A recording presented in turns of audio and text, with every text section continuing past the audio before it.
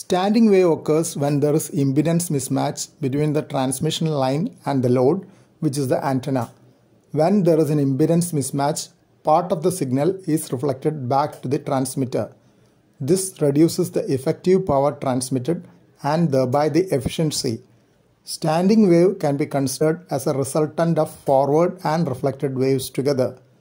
Standing wave ratio or SWR is the ratio between the maximum and minimum amplitudes of the standing wave.